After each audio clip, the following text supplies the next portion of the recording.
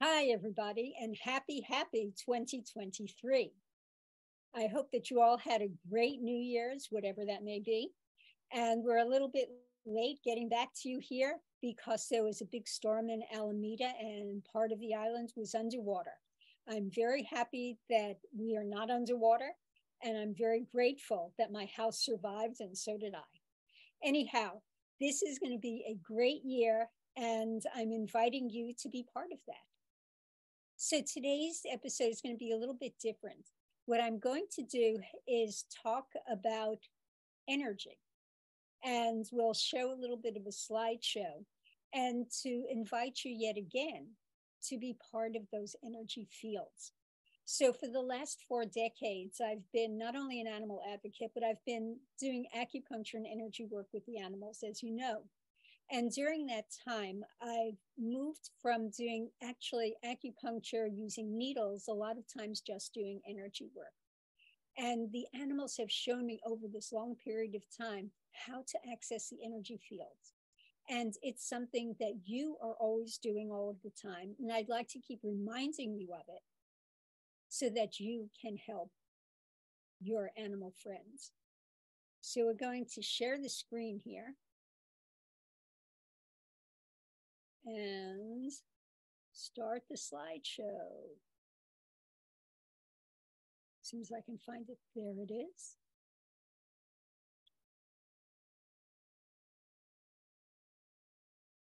And slideshow.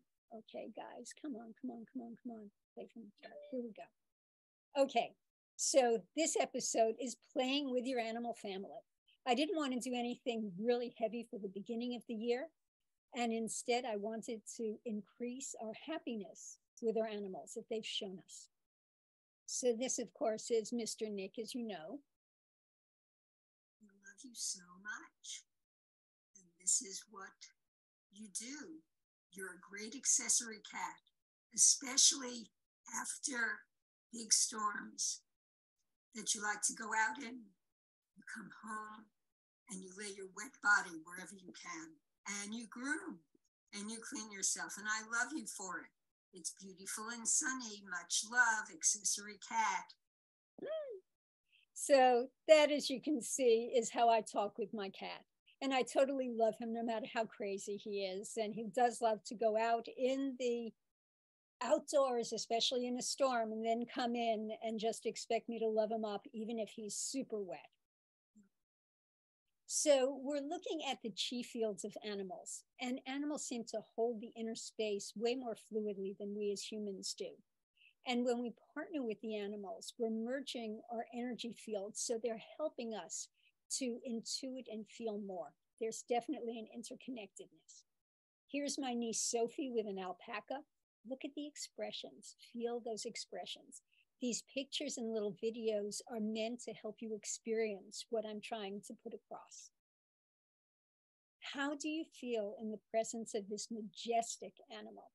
And this, I call him Mr. Handsome. He's my friend Susie's uh, great bull. And look at him, he's just gorgeous. Here are my nephews in Turkey recently riding a camel. What do you feel around that? Look at them.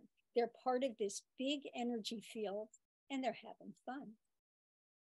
So, our interconnectedness is happening all the time. Those of you who know me, and most of you do, you've brought your animals to me, or we've talked on the phone or on these consults, and we'll do a session together. And these are some of the quotes that you tell me. I like to come with my dog because the Qigong and acupuncture session he receives relaxes me so much that I could take a nap. She gets calm and settled, and I feel healed. Or I was focused on the physical issues and forgot about the emotional and spiritual issues that he might be carrying that affect him. Now, all of you know from working with me that we look at not only the physical, but all of the environmental, mental, behavioral, and spiritual aspects of the animals. So here's a little video that Terry sent in of playing with her dog, Desi, and how they play chase. So they're waiting for the direction at this point. Okay, here we go. We're off and running. Yeah, go around, go around, go around. it makes you laugh. It also makes you move, and the other animals in the house get experience and exercise.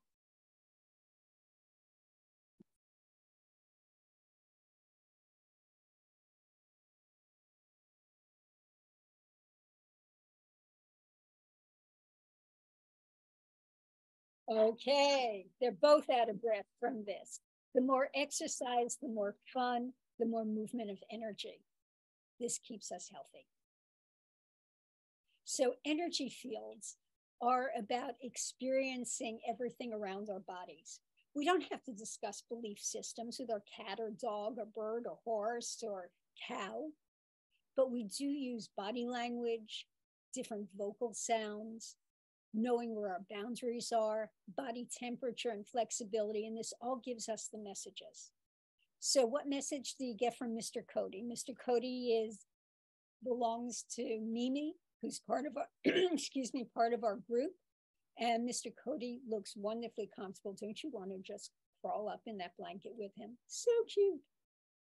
Mr. Lucas, who's playing with Susan. They're both having fun. This is Alma and Mishka and Sophie. Alma and Mishka are the dogs. Sophie is making the food. This is a very familiar picture to a lot of you. This is a very familiar picture. How do you feel when you see that? How do you feel when you're experiencing that? So we're always connecting with our animals' friends and their energy fields, their chi fields. And we do it with scanning, we do it with thinking, we do it with emotional moods, we do it with singing. How many of you sing with your animals? I certainly sing with Nick, whether he likes it or not. And they're always critics, you know. Sound, making sounds. So there are different sounds that go along with organ systems in the body, the healing sounds. The healing sound for relieving tension from the liver is shh. So Inhale, through the nose and shh. And that will help remove tension in your body. Light, the colors that come in, the differences in how your animal responds to the daylight, the sunlight, the nighttime. And of course, the scanning. And those of you who worked with me know about the scanning, and I just wanted to remind you to get a little bit of practice in. So, scanning is done with the palm and the very center of the palm is the pericardium six. The pericardium goes from your nipple down the inside of your arm to the palm down to the middle finger. And this is your antenna. This is how you pick up information from the universe. And we use it over the tops of the body, the sides of the body. The legs will either do it from massage touching or all the way out.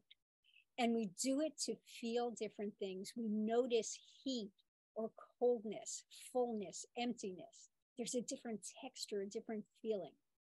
Where we feel something, it's usually an area of stagnation because there's a difference from one side to the other, from where we are to when we move on. So the point of healing and of scanning and is moving that energy, smoothing it out, moving it, nurturing it, love it. When we do that, we help to restore the balance. These are some pictures of the bioenergetic areas, sometimes known as chakras. This is looking down on the animal.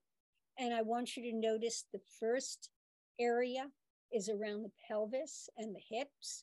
The color red is associated with it. The next one up between your uh, lumbar area and the pelvic girdle is the kidneys or the second chakra, and it's orange. In the middle of the body, this governs the digestive organs, the liver, the pancreas, the stomach, the gallbladder. Moving up to the chest, this is the color green with the heart and the lung.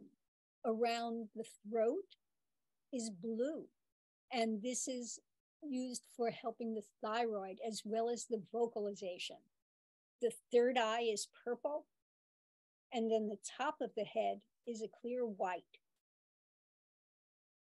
This is how it looks from the side. So we're having the first, the second, the third, the fourth, the fifth, the sixth, and the seventh. And these are areas that we can manipulate or work with both color and energy. And when you're scanning the sides and the tops or the belly, you're going through all of these energy fields. And this is how it looks when you're moving outward. It's interesting to go from 2D to 3D to 5D. Anyway, the very close to the body is the physical layer. Then you get an emotional layer, then a mental layer, then an astral layer, and it keeps going out to up to 10 or more energy fields. And that's why when you're in the presence of certain individuals, human or animal, or plant, or rock, you feel certain energies. And it's the shimmering out of the individual that you interact with. And with these interactions, with these fields, boundaries are set up.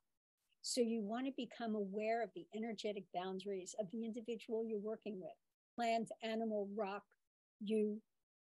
And what you want to notice is as you move in toward another, it's that other, the one who's being approached, who sets the boundaries. So you always want to be aware to ask, to listen, and to respect. So let's go to some pictures right now. The girls. Now, where do you think their boundaries are? Here's Mr. Finn playing.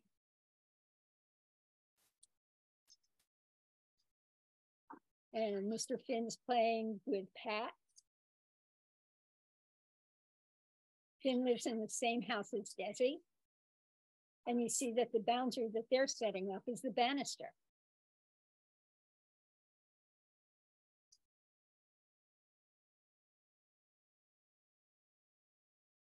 This is Samson and Jane. Look at the expressions, look at the boundaries. Who has different boundaries? This is Mr. Nick, of course, and he's laying on one of his many beds. And he's on a blanket that was given by Miss Sarah, his Auntie Sarah, and he loves it with the angels. And the toys that are surrounding him are given by a friend and colleague and client of mine, Gail Colombo, with Cat Faeries in San Francisco, who makes these great catnip toys that are totally unique, and Nick loves them. This is Sophie learning how to vault on a horse, and look at the patience that that horse has. Where is that horse's boundaries? Where are Sophie's boundaries? Where is the woman who is teaching her? Where are her boundaries? What's the interaction? This is sleep security. I don't know who's securing whom, but it's definitely coexistence. This is Mr. Boudreaux. And Mr. Boudreaux is bold, outgoing, and very alert and fierce. So he lost his leg early on in an accident, and you'd never know it by his countenance. Where are his energy fields? How would you interact with it? And this is Nick playing with his dancer.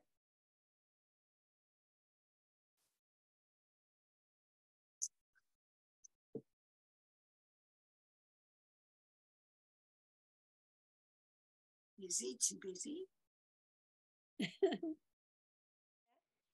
and I'd just like to invite you to send me pictures of you playing with your animals, pictures, videos, and we'll put it up and let's share it together. I'd like to, in this next year, grow the community because we're, I'm talking to the choir right now. And I love you guys and I thank you for your support. And it's my goal and intention to bring the energy fields and our ability and joy to interact with our animals to make a better world. So let's do it together. And I'll see you next time. Thanks a lot.